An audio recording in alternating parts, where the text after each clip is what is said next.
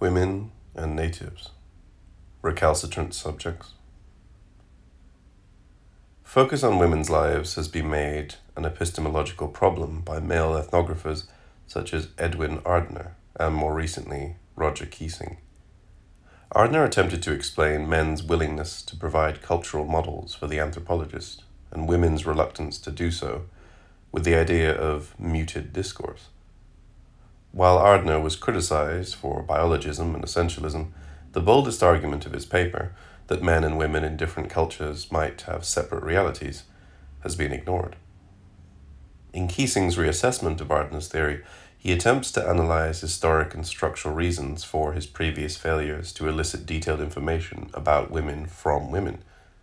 While Keesing's sex was a large barrier, so was the fact that he was commissioned by Kwaio men to record the custom of their society. Women, not initially seeing their activities as a part of this endeavor, saw no point in talking to Keesing.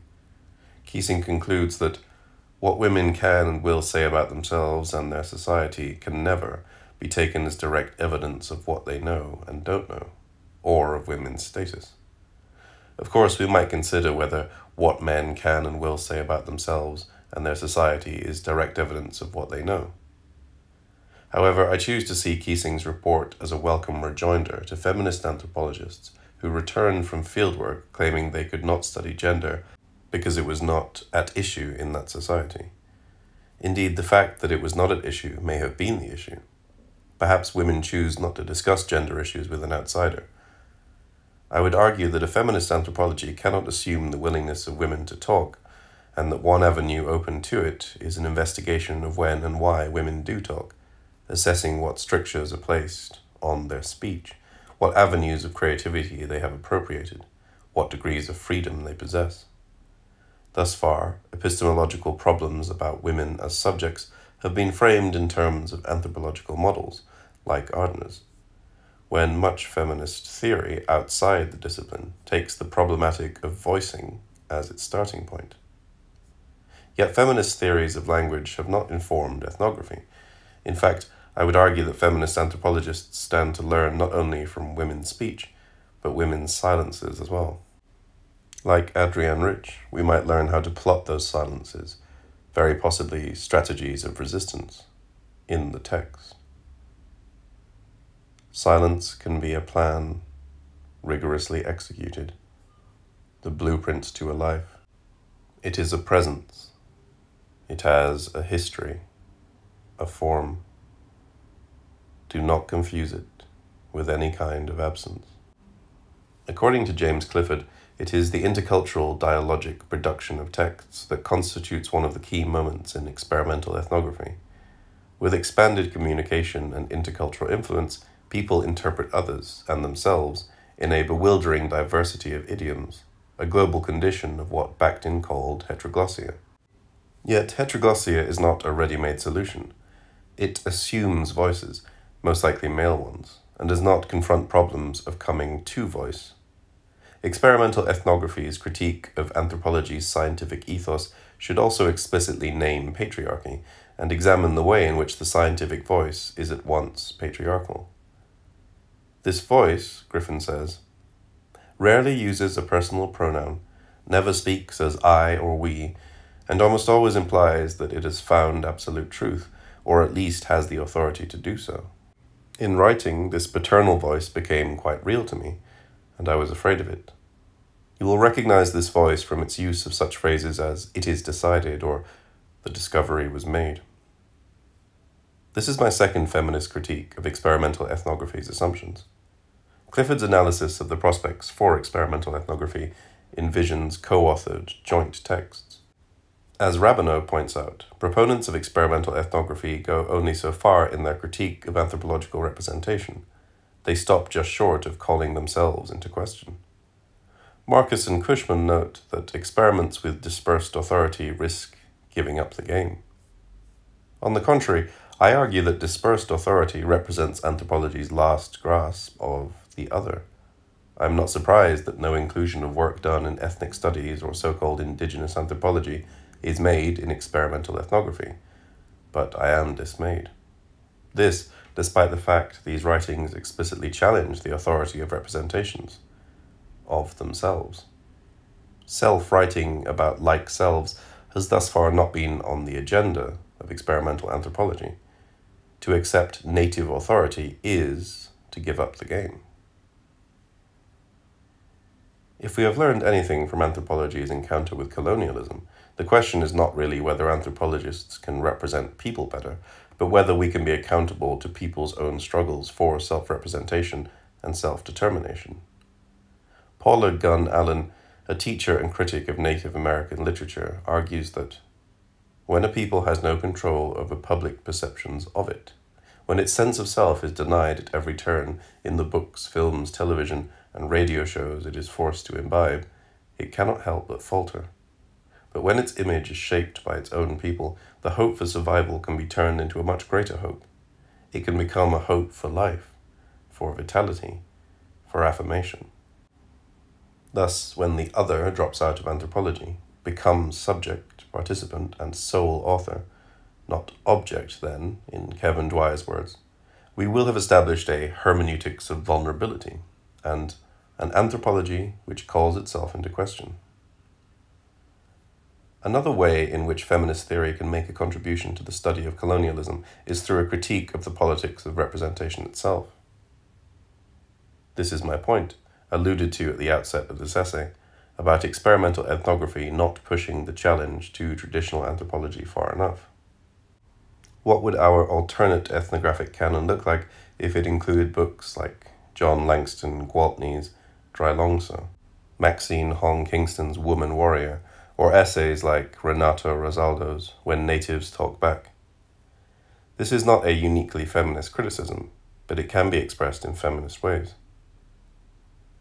What would experimental ethnography's concern with the constitution of subjectivities, the politics of identity, look like if it addressed the politics of identification?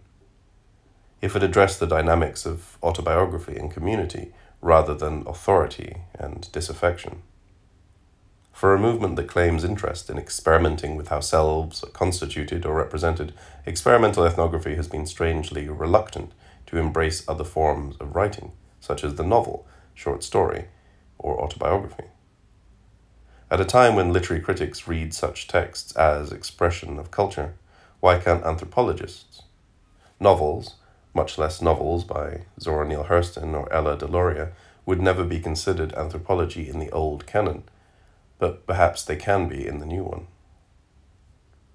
Zora Neale Hurston was trained by Franz Boas as an anthropologist, yet she is known more for her contributions to the Harlem Renaissance than for her contributions to anthropology.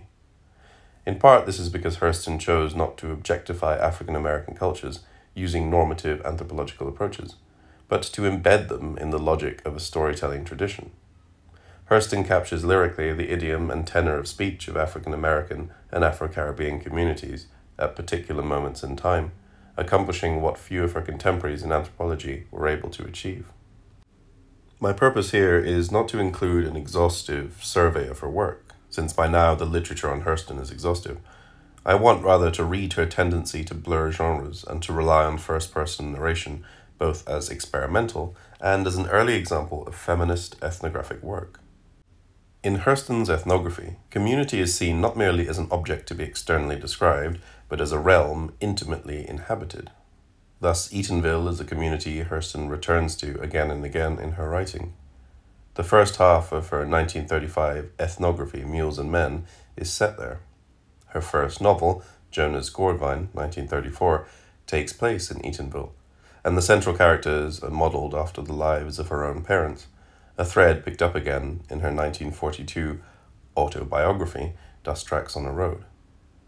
Hurston uses her parents' relationship to explore the construction of gender and its limits in the community in which she was raised. The theme of gender relations is one she explores again in Their Eyes Were Watching God.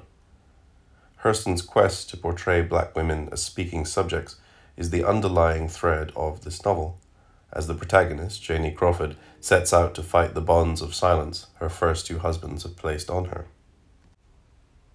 Janie did what she had never done before that is, thrust herself into the conversation. Sometimes God gets familiar with us women folks too and talks his inside business. He told me how surprised he was about y'all turning out so smart after him making you different, and how surprised y'all is gonna be if you ever find out you don't know half as much as you think you do. It's so easy to make yourself out God Almighty when you ain't got nothing to strain against but women and chickens. Some critics, notably Mary Helen Washington, have expressed disappointment in Janie's inability to claim full voice and autonomy. Yet I feel this text can be read as an extended negotiation of gender roles and patriarchy. It is important to realize, however, that Hurston's analysis of patriarchy is often shifting and strategic. For example, Tell My Horse, Voodoo and Life in Haiti and Jamaica is a work that mixes the conventions of the novel with those of the travelogue. It is also a text where Eatonville emerges in the pages of a Caribbean ethnography. Tell My Horse reveals Hurston's own processes of self fashioning and her attempts to redefine the terms of her womanhood in different cultural contexts. Gwendolyn Mikell observes that Hurston's feminist perspectives emerge most clearly in the section on Jamaica in Tell My Horse. Yet it is perhaps the juxtaposition of Their Eyes Were Watching God and Tell My Horse that reveals most clearly Hurston's cross cultural reflections on gender roles and patriarchy. In fact, Their Eyes Were Watching God was written while Hurston was still in Haiti, conducting the fieldwork that would become Tell My Horse, revealing an entirely different relationship between the novel and ethnography than that evoked by Malinowski. Hurston composed Their Eyes Were Watching God in seven weeks, during the period of September 1936 to March 1937, when she was in Haiti. It was published when she returned to the United States in September 1937. During the months of February and March 1938, Hurston completed Tell My Horse, and it was published later that same year. Hurston's opening foray on gender roles with a Jamaican man in Tell My Horse occurs the day following a wedding both had attended. Hurston tells her readers, I do not remember how we got around to it, but the subject of love came up somehow.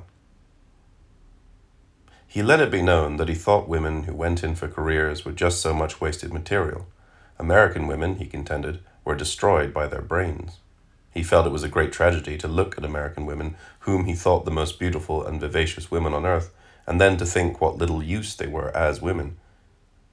I had been reclining on my shoulder blades in a deck chair, but this statement brought me up straight. I assured him that he was talking about what he didn't know. What follows is a spirited but heated exchange between Hurston and her Jamaican visitor, punctuated by scornful snorts and aggravated grunts on both sides. At one point, Hurston chases her interlocutor to the running board of his car when he exhibits an inclination to end the conversation. As Hurston recounts, when I showed a disposition to listen instead of scoffing, we had a very long talk. That is, he talked and I listened most respectfully. Hurston's use of humor and sarcasm to chip away at patriarchal attitudes here is instructive, and it is worth noting that Hurston concludes this chapter with an account of female ritual specialists preparing young girls for love, which is as eroticized as it is a tongue in cheek rendering of her interlocutor's notion of the ideal woman. The whole duty of a woman is love and comfort. She must accept her role gladly, not make war on her destiny and creation. The fifth chapter of Tell My Horse, titled Women in the Caribbean, however, offers a more sustained reflection on her own positioning. It is a curious thing to be a woman in the Caribbean after you have been a woman in these United States.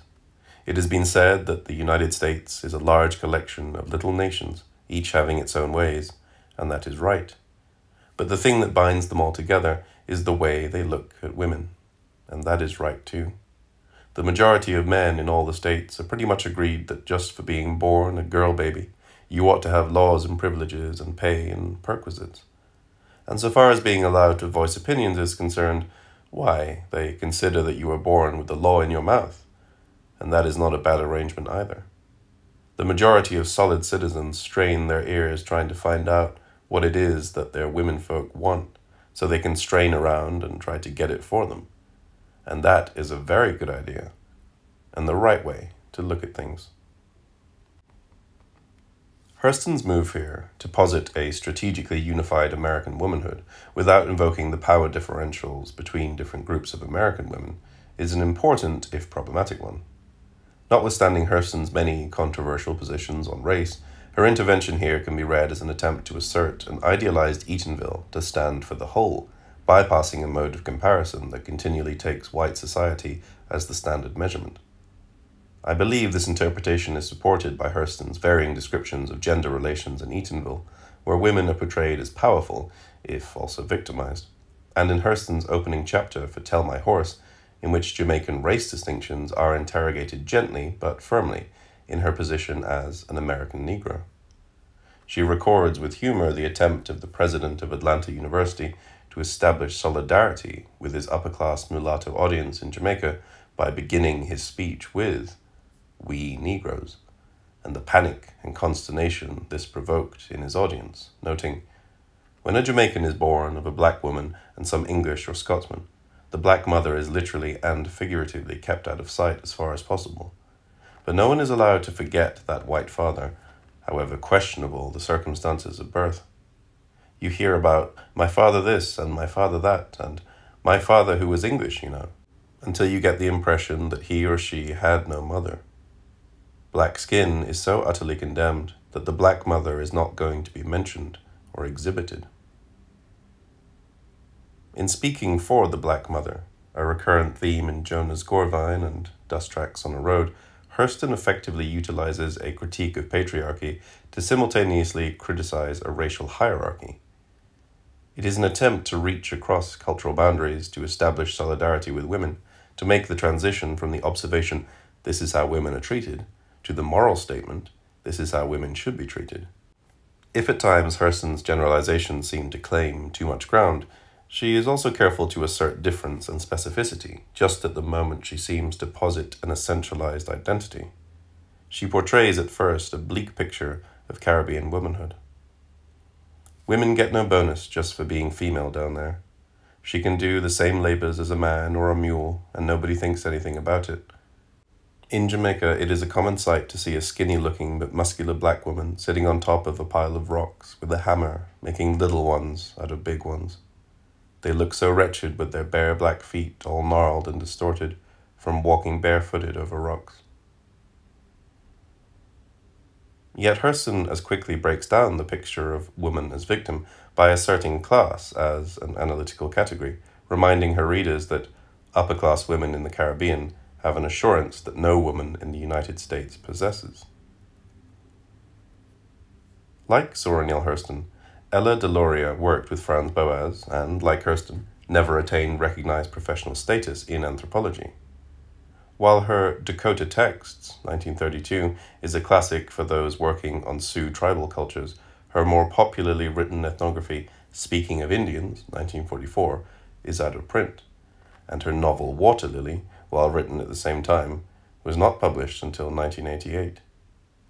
With Ruth Benedict's help, Deloria cut and revised Water Lily in 1947, but Benedict's untimely death in 1948 deprived Deloria of the professional assistance that would have enabled publication of the book. The dedication to the book 40 years later still reads, In memory of Ruth Fulton Benedict, who believed in Water Lily. In many ways, Ella Deloria's work presents a contrast to Hurston's. Speaking of Indians was explicitly written to persuade a potentially hostile white audience of the value and worth of Indian lifeways, and attempted to speak frankly about some of the difficulties of reservation life. In 1945, Deloria remarked to a friend that World War II had ushered in an era of practical social science, and American Indian ethnology was no longer perceived as an endeavor with high priority. It is perhaps the wartime context that explains why so much of Speaking of Indians is dedicated to Native American contributions to the war effort. Although Deloria's tone is often conciliatory, she does criticize patriarchal white society.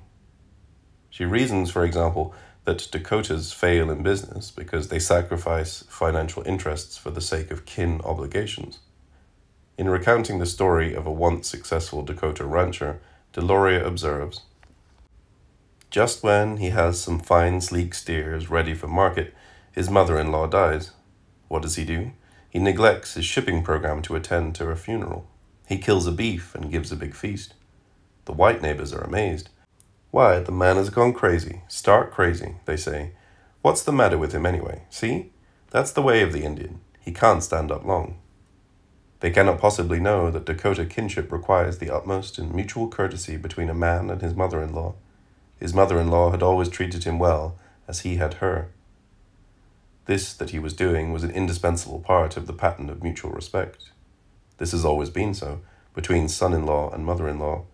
The white man, with his rude and sometimes cruel mother in law jokes, cannot understand that. Speaking of Indians and water lily, both emphasize the integrative theme of kinship in traditional Dakota life, and they share some of the same ethnographic anecdotes. Agnes Picotte calls Water Lily a narrative fiction, a plot invented to provide a possible range of situations that reveal how cultural ideals shaped behavior of individual Sioux in social interaction. More specifically, Water Lily carves out a space for the analysis of gender by emphasizing again and again the range of women's roles among the Dakota. Deloria's novel traces the life of the central character, Water Lily, through the lives of her mother and grandmother. Both Water Lily and her mother are married twice. Remarriage is permitted after a death or divorce, exemplifying three types of marriage practiced by the Dakota. Water Lily's mother, Bluebird, foolishly elopes with a man who later abuses her and finally divorces her by throwing her away publicly.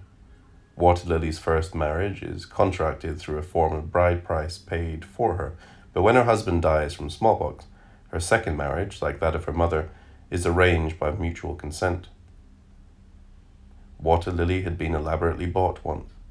This time she married in the other sanctioned way, the way most women married who had the good sense not to elope the way of mutual agreement, openly declared. Similarly, when Water Lily joins her husband's kin upon marriage, the differences in her positioning with affinal as opposed to consanguineal kin are demonstrated again, as they were earlier in the narrative of her mother, Bluebird's, life. She was sure of Rainbow's mother. It was her kinship duty to devote herself to a son's wife. She would even scold her own son if she thought him remiss in his care of his wife, no matter who that wife was, no matter how inadequate she might be.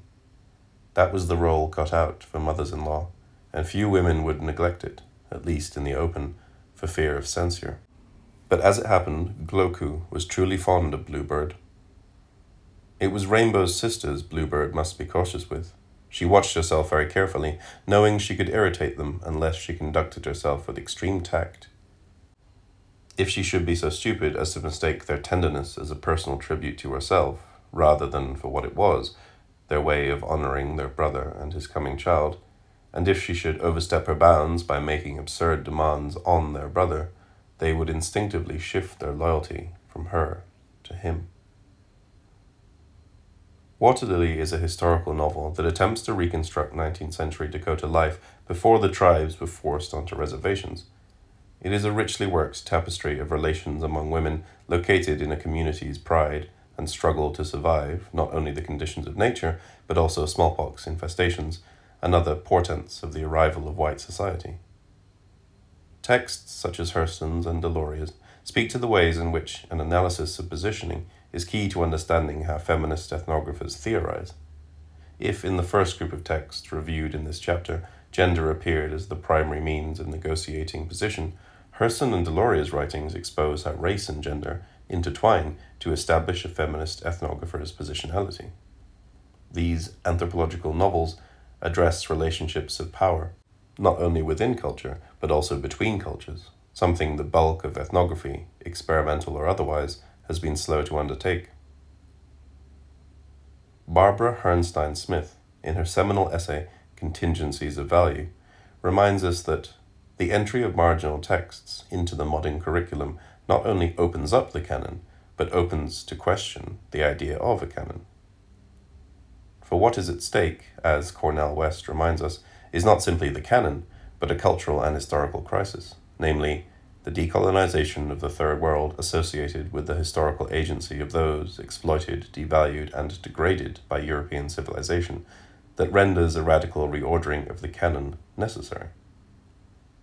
If this essay has questioned the place of confessional ethnography, anthropological novels, and writings by people of color in the alternative canon of experimental ethnography, perhaps we too can consider the project of feminist ethnography as one that continually challenges the very notion of a canon.